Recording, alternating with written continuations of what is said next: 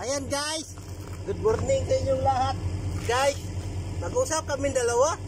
Sabi ng kasama ko na Indiano, nag-away ng China at ano, India. Nag-away ba? Dahil sa border. Sanjay, how much die? China Oh, fighting? fighting. How much die? How much? Come, come, Yes. come na par mut India, o India? 20. Ah, 20. Nag-away sila sa border, patay India 20. Yo, how much ah China, China? 43. Ah, China 43. Nag-away sila dahil sa border. Ang pinag-awayan pa rin nila ng border guys is ah, ano?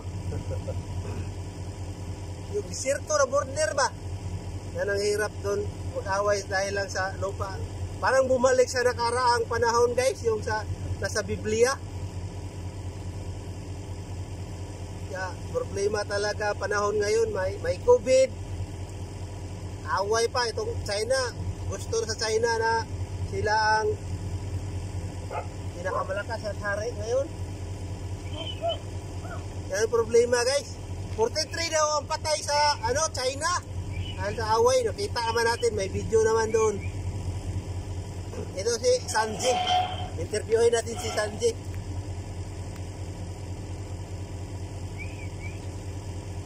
Yan problema guys, no? Hindi lang inagawa ng China, hindi lang Philippines, Vietnam, Japan. Doon din sila sa Ada India. Pino, ada Pino. Yang salah mana? Pino. Oh. Oh. Kalam English? yes. Kaya, yan ang problema guys, no? Problema tayo sa ano, pag ganyan. Dahil sa malakas, malakasan sila ba? Hindi nila iniisip na kahit malakas sila, ang apektado dyan mga sibilyan. Magugutom, yan ang problema. Ah, iba naman ngayon ang panahon ngayon pag, pag magkagira kasi powerful ng mga bansa may marami na silang ano chemical weapon. Pag makalanghap ka lang ng usok ng mga chemical weapon mga ginawa ngayon, mas matindi pa yan sa virus kasi hindi ka na makahinga. Katulad sa Hiroshima bombing na pinipreserve nila yung mga laman doon. Nakita na ako nung nag-Japan ako guys, pumunta ako ng Hiroshima Museum. Yung mga laman ng tao, pinipreserve nila.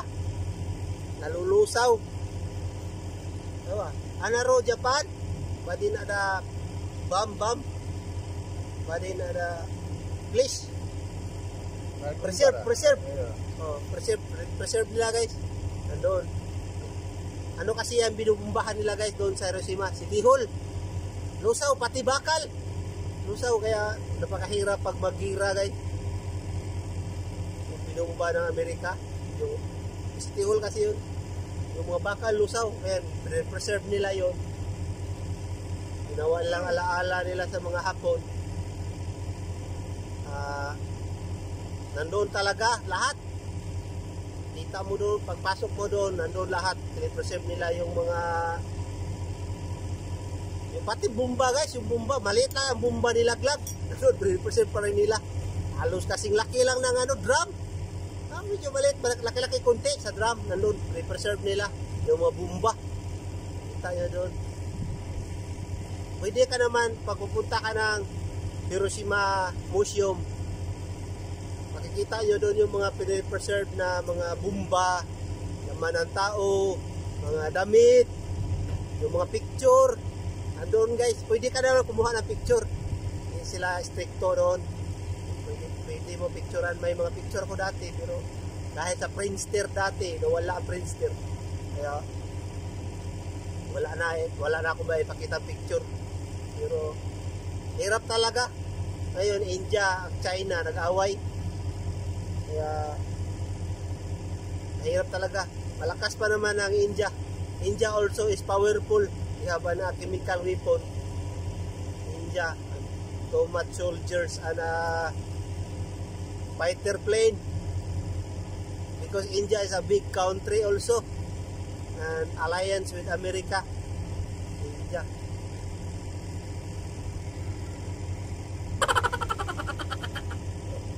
Ah, yan na guys, ito yung bagong balita natin ngayon na ito talaga, tap, matapos nag-away yung Pakistan at India, ngayon China naman at India yung ano, border lang naman yung pinag-awayan nila guys. Kaya, nasa lang tayo na lumaki yung gulo. Hinaharap-harapan tayo na pandemic. Tapos, baka mainit pa naman ang ulo ng Amerika ngayon. Mayroon pang hinaharap sa Pilipinas sa Spratly. Uh, also, Philippine, China entering the inside of uh, Spratly Island because he wants the China drilling to the oil.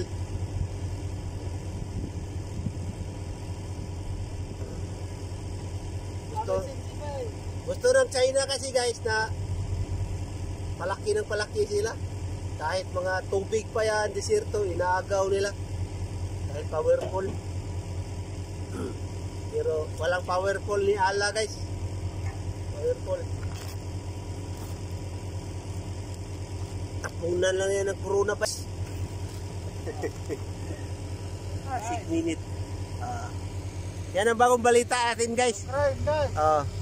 Kaya thanks for watching. Sub- subscribe kayo sa Amico na kong Sanji.